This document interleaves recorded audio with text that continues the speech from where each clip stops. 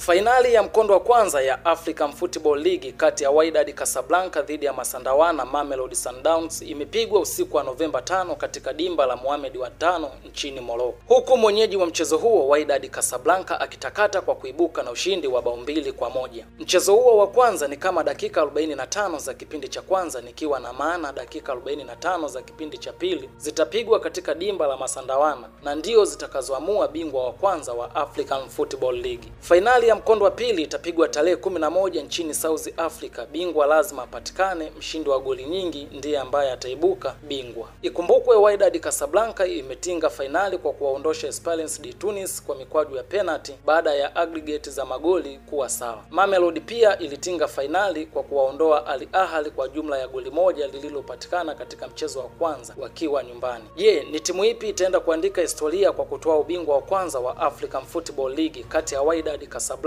ama Mamelodi Sundowns? Hata hivyo, mashindano haya ni mara ya kwanza kuanzishwa barani Afrika mara baada ya mpango wa kuyaanzisha barani Ulaya kufeli kwa kuhofia kupoteza ladha ya mashindano ya UEFA Champions League. Hivyo shirikisho la soka duniani FIFA likaamua kuyaanzisha barani Afrika na timu nane pekee ndizo ambazo zilishiriki mashindano hayo, nazo ni Simba Sport Club, TP Mazembe, Petro di Luanda, Enyimba Football Club, Esperance di Tunis, Al Ahly, Wydad Casablanca pamoja na Mamelodi Sundowns kutoka South Africa. Hata hivyo, shirikisho la soka barani Afrika CAF limetangaza kuwa na timu ishirini na nne msimu ujao katika mashindano ya African Football League. Mimi naitwa Master Soka Ramadhan Juma na hii ni Uhalisia Online TV. Asante sana kwa wewe ambaye umekwisha subscribe chaneli yetu ya YouTube. Pia kama bado hujasubscribe, basi unaweza kusubscribe ili uwe wa kwanza kupata taarifa zetu. Pia unaweza kufuatilia katika mitandao yetu ya kijamii Facebook, Instagram pamoja na mtandao wa X maarufu kama Twitter.